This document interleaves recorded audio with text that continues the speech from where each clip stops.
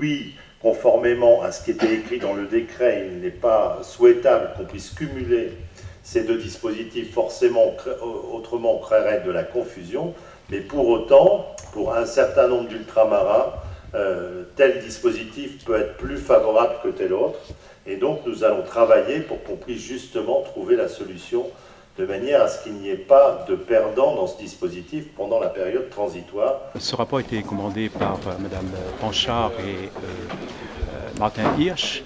Et comme Martin Hirsch n'est plus au gouvernement, donc il a été repris par Marc-Philippe de Bresse. Donc j'ai rendu ce matin ce rapport avec comme préconisation trois points. le premier point, la mise en œuvre du RSA, le revenu de solidarité active, comme le prévoyait la loi avant, ou du moins plus tard, hein, euh, le 1er janvier.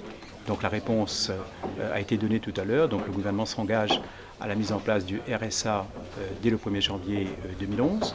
Le deuxième point, c'est une sortie du RSTA vers le RSA en proposant donc la meilleure euh, solution possible, la meilleure allocation possible euh, aux intéressés. Donc le gouvernement euh, l'a confirmé tout à l'heure. Et puis le troisième point, c'est l'accompagnement pour permettre aux bénéficiaires du RSA notamment de retrouver la dignité par le travail.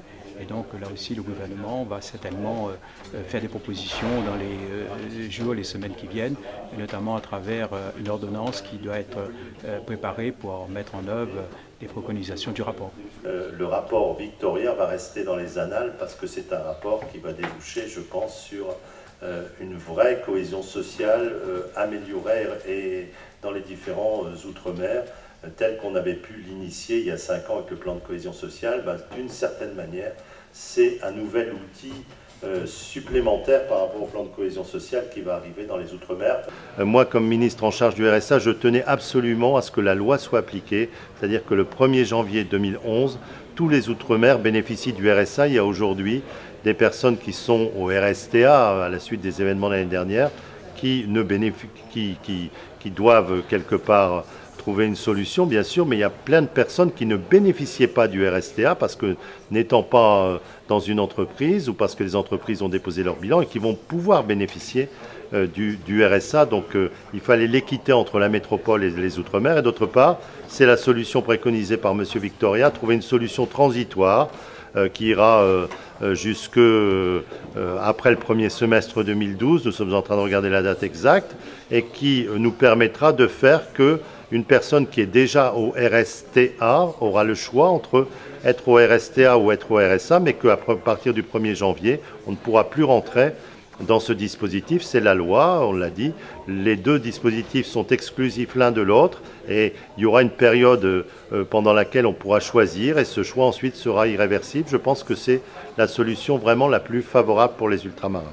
C'était logique, effectivement, euh, et je comprends l'analyse qu'a pu faire Paul Victoria sur le choix de dire on applique le RSA au 1er janvier parce qu'effectivement répond à un besoin des familles, alors que le RSTA a toujours été une prestation temporaire.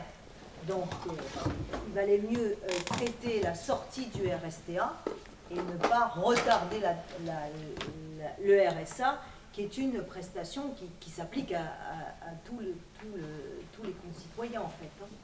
parce que ça pénalisait l'outre-mer si on retardait le RSA. RSTA est une autre prestation, mais qui concerne les salariés. Donc, attention de ne pas vouloir régler le problème du pouvoir d'achat uniquement, et en même temps, de ne pas prendre en compte les personnes qui sont en difficulté de réinsertion pour l'emploi. Je crois que l'action publique, c'est d'avant tout d'accompagner ceux qui sont à la recherche de l'emploi, tout en s'assurant peut-être qu'on préserve la situation des salariés. Mais je crois que la priorité doit être donnée à ceux qui cherchent à retrouver un emploi, surtout en Outre-mer, quand on sait que le taux de chômage est aussi important.